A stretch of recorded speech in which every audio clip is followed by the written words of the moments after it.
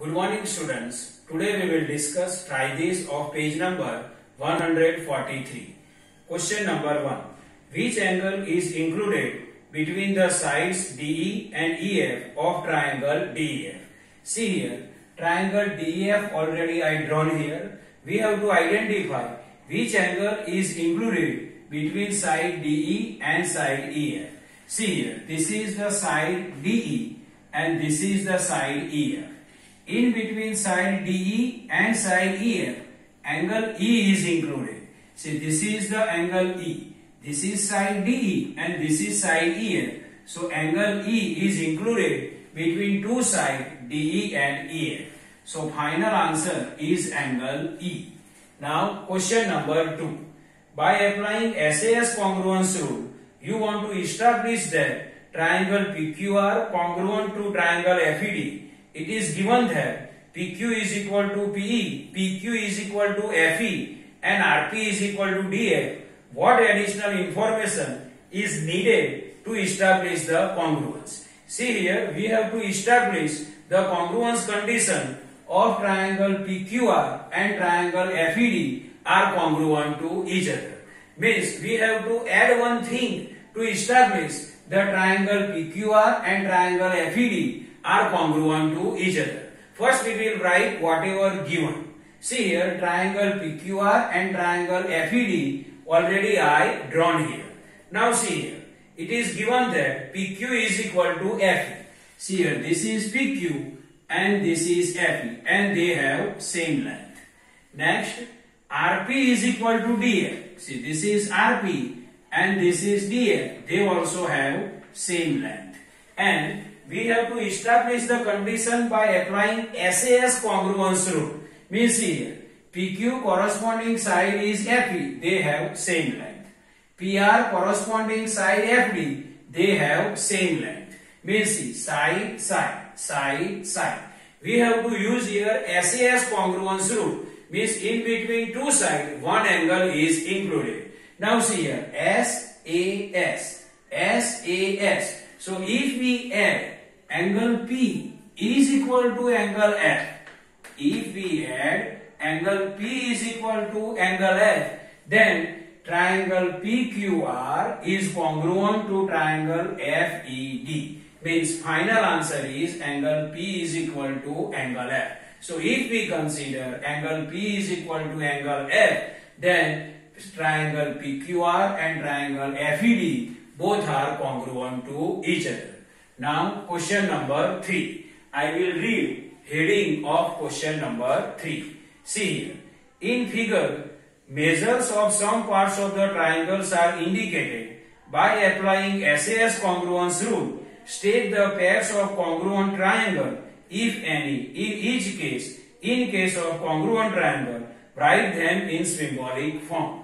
First, I will explain the heading. What is the heading? Here pairs of triangles are given to us. We have to check according to SAS congruence criterion they are congruent or not.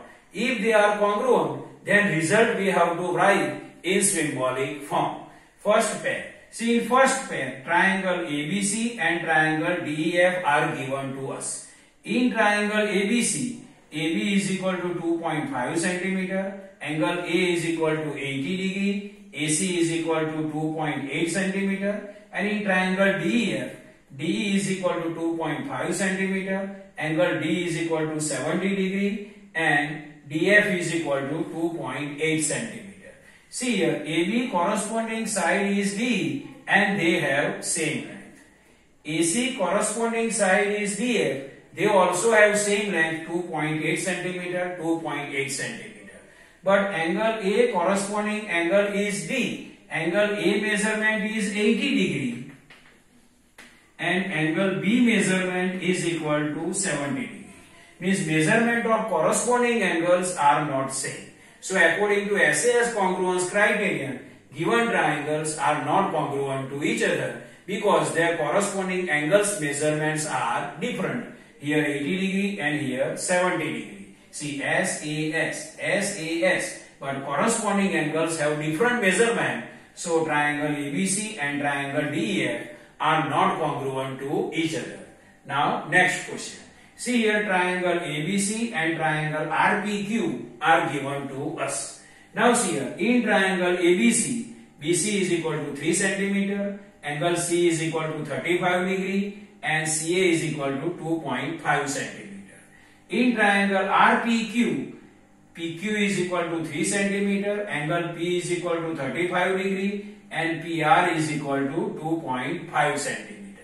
See here SAS, SAS means according to SAS congruence criterion, they are congruent or not that we have to check. First we will write congruent part. See here, angle C is equal to 35 degree, angle P is equal to also 35 degree.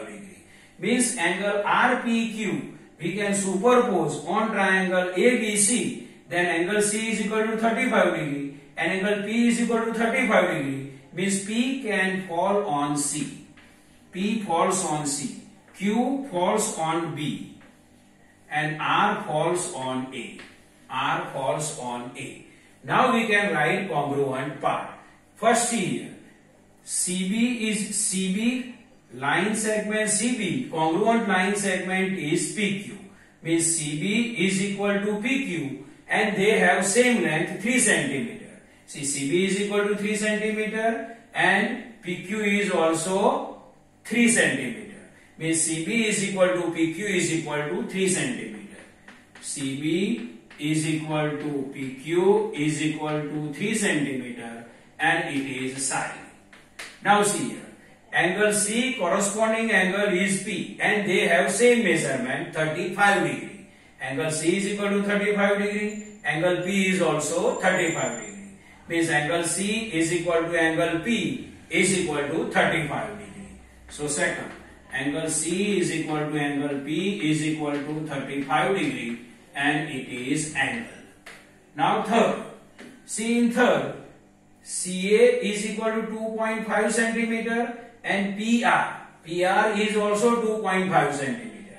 And CA corresponding side is PR and they have same length 2.5 centimeter. Here also 2.5 centimeter. Means CA is equal to PR is equal to 2.5 centimeter. CA is equal to PR is equal to 2.5 centimeter. And it is also side see side angle side SAS means according to SAS congruence criterion, triangle ACB congruent to triangle RPQ. Means result we have to write in symbolic form. Means triangle ACB, triangle ACB congruent to triangle RPQ. Triangle RPQ. See here, triangle ACB triangle ACB congruent to triangle RPQ. Why triangle ACB congruent to triangle RPQ? Because two sides and included angle of triangle ACB are equal to two sides and included angle of triangle RPQ. So both triangles are congruent to each other. I hope you can understand the question and answers of try this of page number 143. Thank you.